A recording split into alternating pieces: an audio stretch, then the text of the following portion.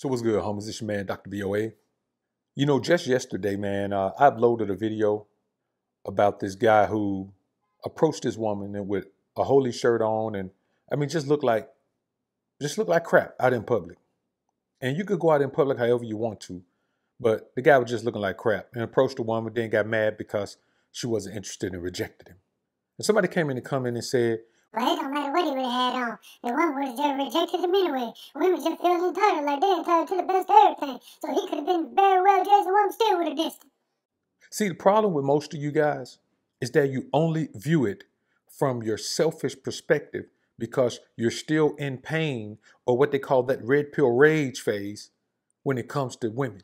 But a lot of times out here, women are truly in danger when it comes to these guys, especially with this cold approach entitlement that men have.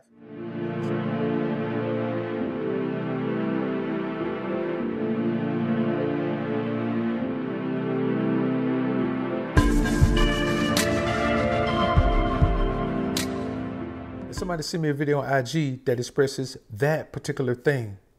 So there's this chick. She's at Walmart, going to a car, got a little dog in the buggy with her and this guy is aggressively cold approaching her. And she's nice about it and tells the guy, No, I'm okay. I'm good. I'm all right. Don't worry. But he just continues to press. So I can't talk to you. I'm good. I'm good. Well, what about following you here, there, and everywhere and getting your number and this and this social media and that social media? He just kept going on. See, this is the thing that these guys tell you to do. If the woman says no, keep pressing. Let's take a look at this video, man. We'll come back and chop it up on a real tip. Nah, I'm good.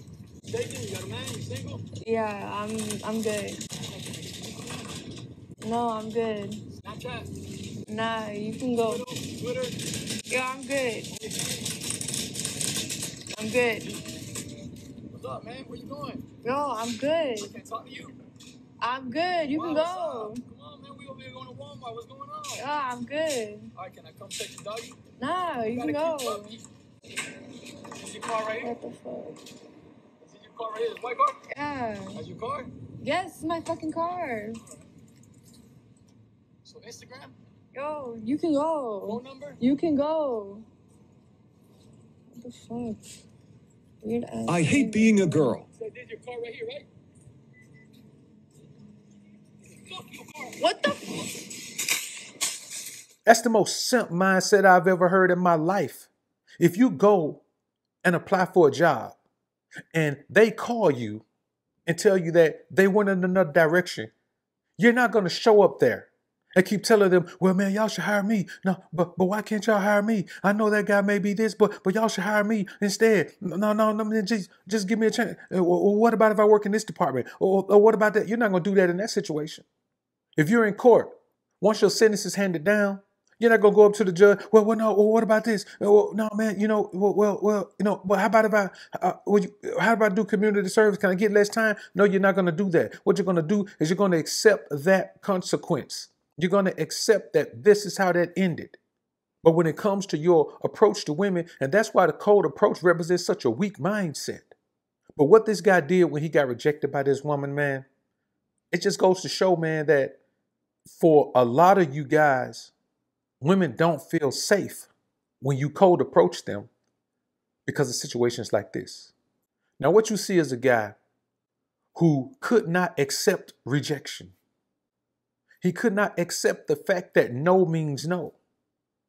Now, here's a woman right here, could obviously an attractive woman, out by herself, buying stuff for a car, got a dog, so not a bad looking vehicle. So when you think about it, here's a woman that's not going to be receptive to anyone anymore. Because if you notice at the end of this video, when he did that to a car, she couldn't oh, she couldn't say that she couldn't run up on him. This guy has showed the type of aggression and, and, and violent tendencies that a woman should just stay away from and back off. So here she is with a car like this in a situation, and for that moment, she's wondering, is this guy who doesn't know her gonna do something to her now simply because she was not interested in him? And again, here's another guy who just looks like he's thrown something on.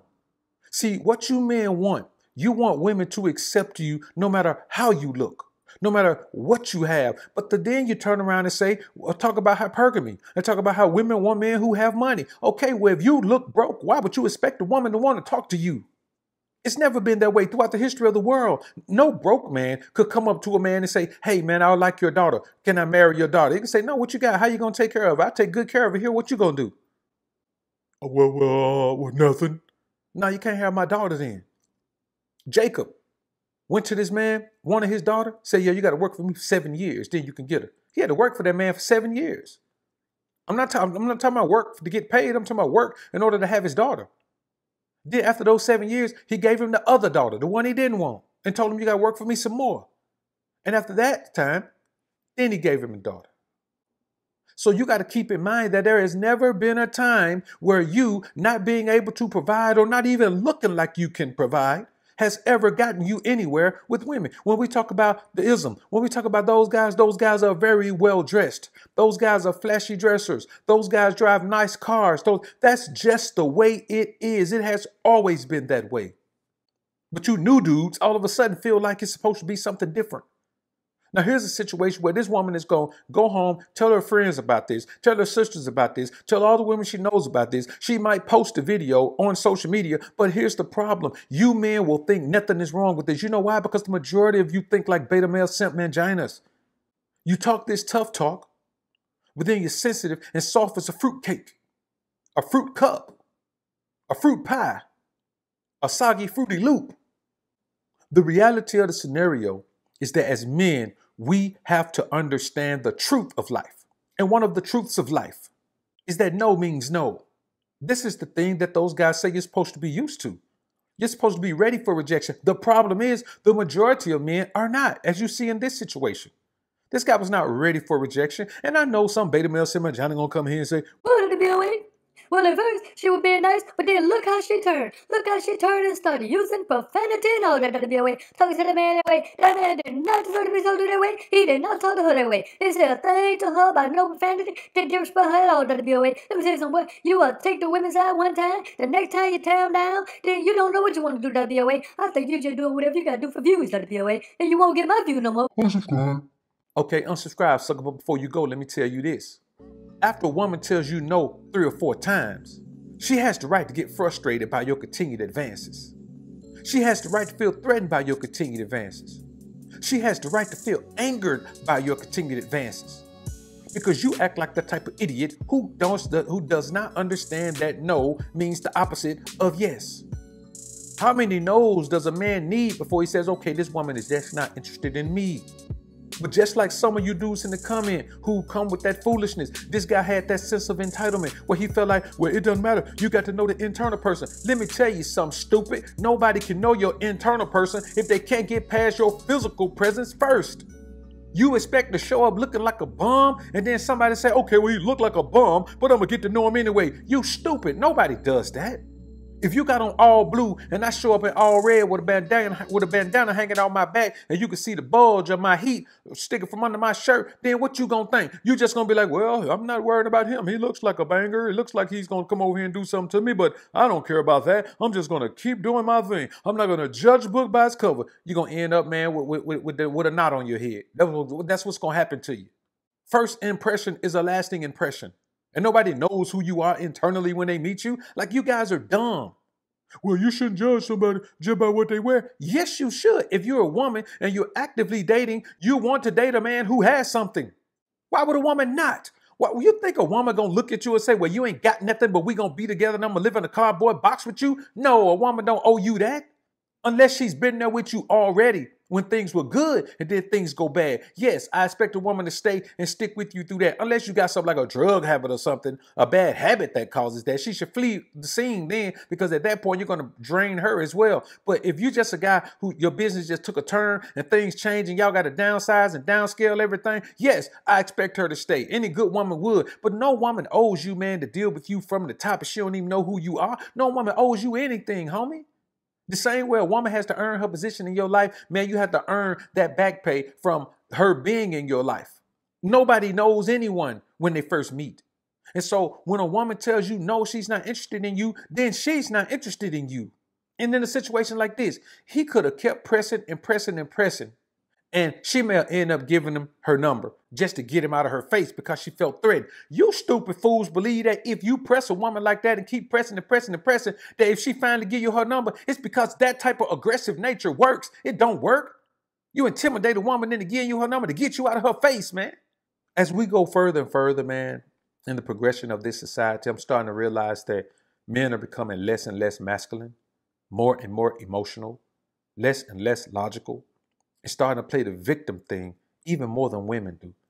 If I talk to 100 people during a month in consultations, and let's say 20 of them are women, out of all those 20 women, it's getting to the point where neither of them will play the victim.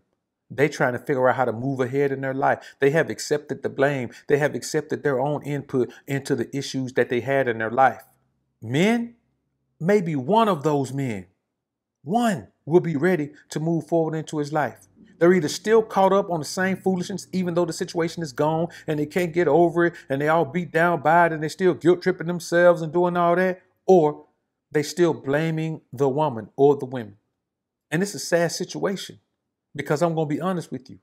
Before I started talking to this volume of women, having this volume of consultations with women, I just did not know that women were so ready to move on with their lives when men are not.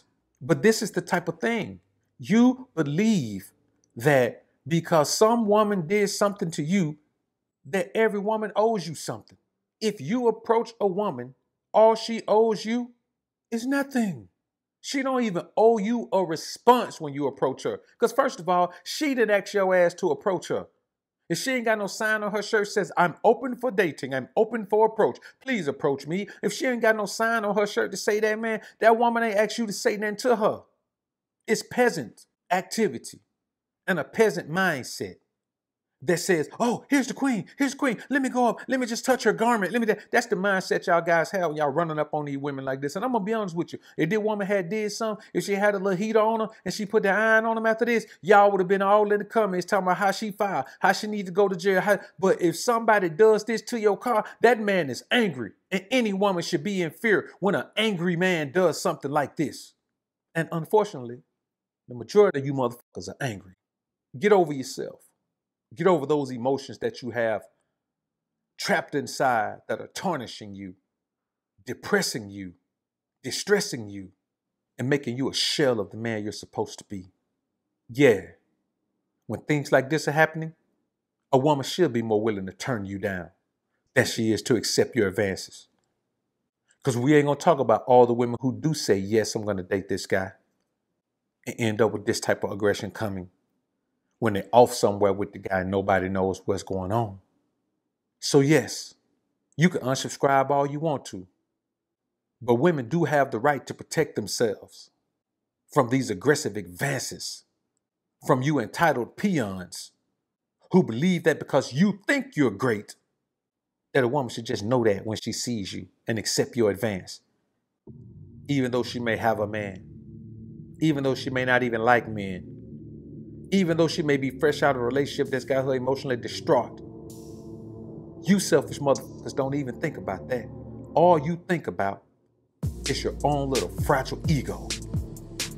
Beta male, simp man, China motherfuckers. Y'all comment down below and let me know what you think about this topic, man. I look forward to hearing what you men and women have to say. I'm out. Trying to become the most alpha version of you. Trying to become most alpha version of you. Striving to become the most alpha version of you. Fighting to become the most alpha version of you. Welcome to the sphere. Get money division. The place where you transform into a man on a mission.